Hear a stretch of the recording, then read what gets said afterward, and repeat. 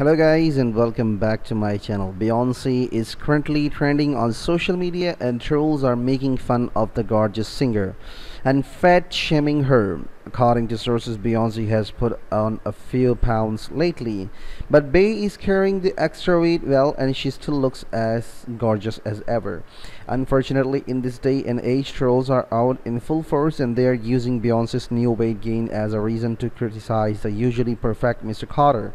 Beyonce sent a personal message to her home church in Houston, the St. John's Downtown Church, which celebrated its 30th anniversary yesterday. According to sources, confirmed that Bey still has a strong ties to the church, and the current pastor is a man who married Bey and Jay 14 years ago.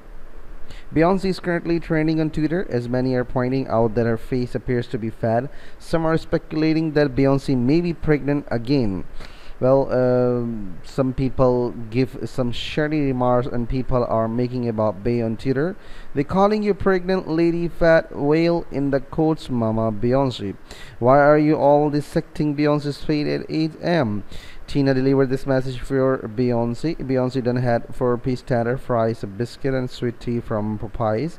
And you all swear she's pregnant. Mama been telling us for years that weight fluctuates and it's no tour no time soon she got no reason to keep that size too.